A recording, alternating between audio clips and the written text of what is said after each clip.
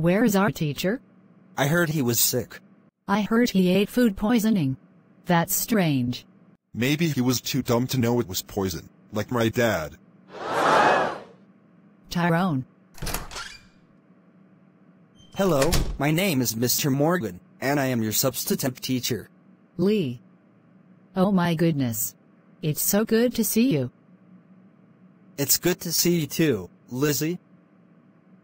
But just call me Mr. Morgan while I'm teaching, okay? Yes, sir. Wait. The Mr. Morgan? The legendary hero. Awesome. I like him as the Red Mighty Morphin Ranger. I heard he's got the Omnitrix. And your teacher, she broke her leg, so they asked me to take over for now. Any questions? Yes. Did the principal say the class can learn about you?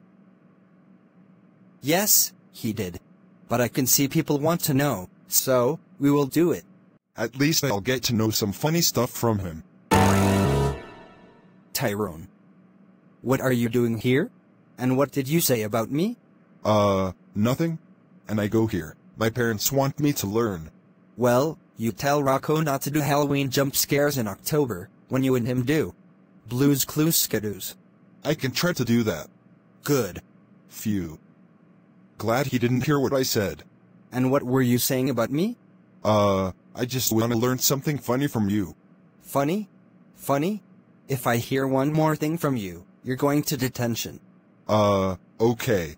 Mr. Morgan, Tyrone said that our teacher wasn't dumb, like his father. What?